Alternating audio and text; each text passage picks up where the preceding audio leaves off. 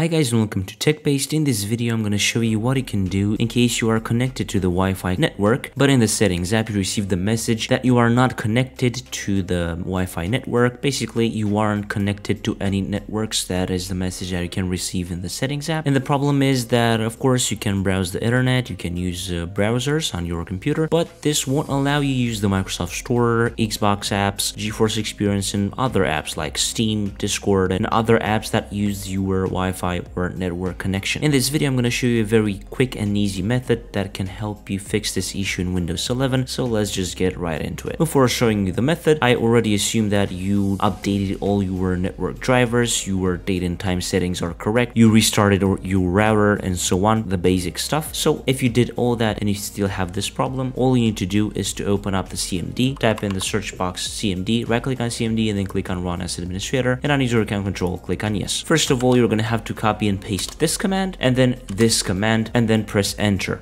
Of course, both of these commands will be in the article down below from the description. You can easily get those commands from there. And what you need to do next is click on your start menu, start button, then shut down or sign out, and then restart your computer for the changes to take effect. And after the restart, you should be good to go. You should no longer have that problem. So I'm hoping that after watching this video, you managed to fix the issue and now you can easily use the Microsoft Store, the Xbox apps, Steam, Discord, and other apps that you need to use on your daily basis. Don't forget that all the commands from this video are in the article down below from the description. If you enjoyed this video and if you found it useful, don't forget to leave a like down below and also subscribe to the TechBased channel with the notification bell activated so that you won't miss any future uploads like this one. This is Manuel from TechBase. Until next time, have a nice day.